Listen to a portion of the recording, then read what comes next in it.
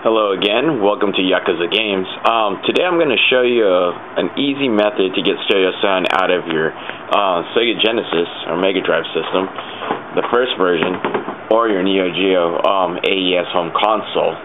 Um, basically, these um, systems here that would use our own custom ports as far as um, the wires that were required to plug them into uh, a television and um, well minus this right here this is actually the original how the original one would be set up.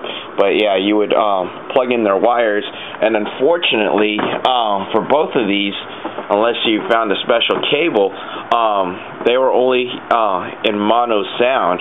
So um, you would only get oh well you would get the same sound signal out of both speakers if you're running it off a television. And today I'm going to show you uh, this cable here that can be found at Radio Shack. Uh, it's right here.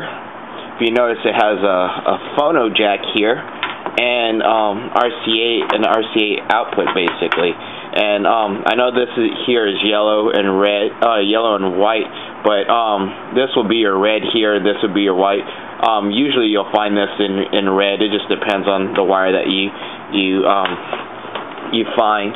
But those are phono jacks, so um, yeah, the color coding really doesn't matter as far as the connection goes. But yeah, for the Neo Geo, of course, just plug it in there. Now you want to make sure that this here is set to its highest setting so you get the, the optimal um, sound of it. But um, yeah, just like if you plugged in headphones in there, you would be able to have stereo sound coming out of your Neo Geo on your television. Uh, same goes for this one here. Uh, typically I have this one maybe halfway on, on this particular one. And um, yeah, you just plug it in there.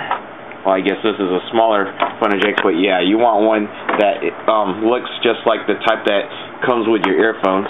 And you plug it in, and um, again, uh, you'll have stereo sound. Of course, just remember that your your sound is regulated by the volume controls on both of these here.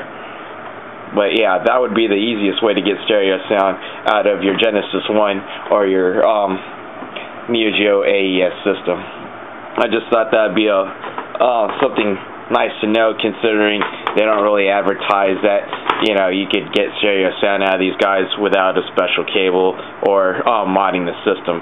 So yeah, thing wouldn't cost you that much. You could probably get it at Radio Shack for relatively cheap.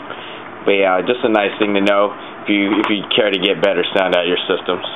Thanks again for watching. This is Agent Zero for Yakuza Game.